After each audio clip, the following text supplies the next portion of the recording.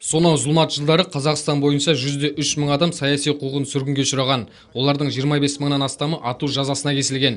Бұл құрбандар ішінде ұжымдастыру кезінде зорлық зомбылыққа қарсы шыққандар мен әр жылдары қазақ жеріне жер аударылған өзге ұлт өкілдері де бар. Сондай ақ сталиндік солақай саясаттың салдарынан жазықсыз жазаланған жандар да жетерлік. Сол мешіт ұстады деп менің әкемді тек үш адамның шешімімен атып тастаған. Жазықсыз решение тройка без суда застрелен деген ол прокуратураның менде справкасы бар. Ол прокуратураға барып әдейі алдым мен соны. Кгб таныстым. Сол кездердегі қатыгез саясат нәтижесінде қуғын сүргінге ұшырағандардың өздері ғана емес олардың отбасы мүшелерімен бірге барлық жақын жуықтары жапа шекті. Солардың бірі ақтөбелік жәдігер қадырбердиев 77 жастағы қария өзінің әкесі жамаладинді айдап кеткенде небәрі бір жаста ал оның ағасы сыражадинді алып кеткен кезде еміс еміс есін білетінін айтады. Кейін анасына халық жауының әйелі деген атақ тағылып барлық отбасы мүшелеріне басқа адамдармен араласуға рұқсат етпеген. Біздер сол қиыншылықтарды айтып отбасында әңгіме қылып отырамыз балдарға осылай болып жылда келеміз осы жерге жылда еске аламыз жұртпен бірге. Қайғырамыз. Ә, мына табиғат та міне мұңайып тұр бүгін мінекей. Ана жылы келгенімізде осында жаңбыр болды. Ә, бір екі мезгіл осы арада келіп мына садақа бердік. Ә, төңірегімізді жинап алыстағы мынау түркменстан қарақалпақстан дейтін заттар бар ағайындар.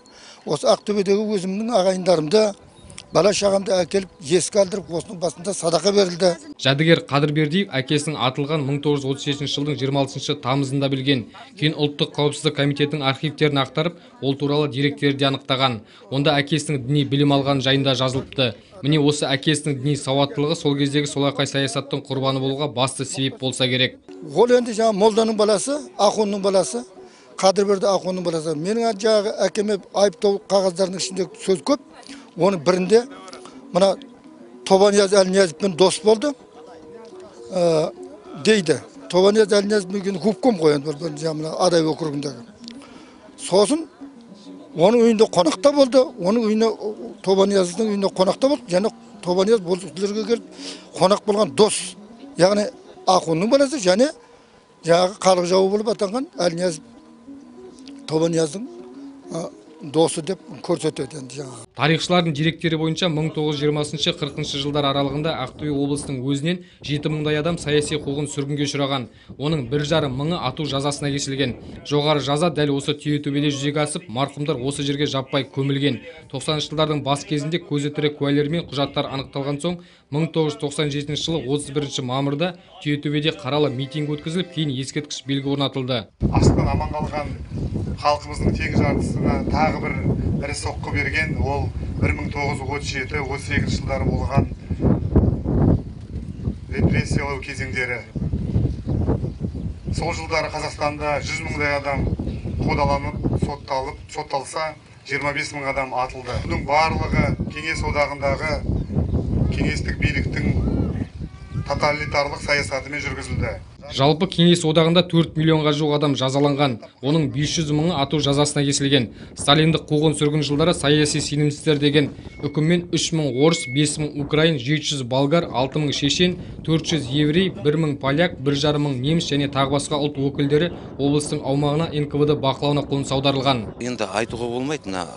Облысында ә, көбірек сүргінге иә аздау деп.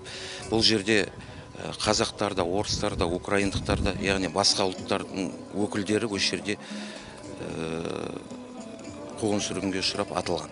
Біздің ақтөбе облысы да осы сталиндік репрессияның ең қиын зардаптарының бірін тартты. Оны барлығымыз да білеміз. Ақтөбе облысының қаймақтарының ішінде осы түрік халықтарының барлығы да сыйлайтын мына жұбановтар әулеті жүргеновтер қаншама сондай көптеген сондай қазақтың қаймақтары ақтөбе облысында ә, белсенді де қазақтың ұлттың көзін ашқан осындай репрессияның құрбаны болды. Бұндай репрессияның құрбаны дәлелдеп бүгінгі тарихты ашып жатырық күнбе күн куә болып жатырық әрбір қазақтың семьясына жанұясына да қатысы бар екен. Бүгін түйетөбенің басына қала облыс басшыларымен қатар қуғын сүргінге ұшырағандардың ұрпақтары да жиналды.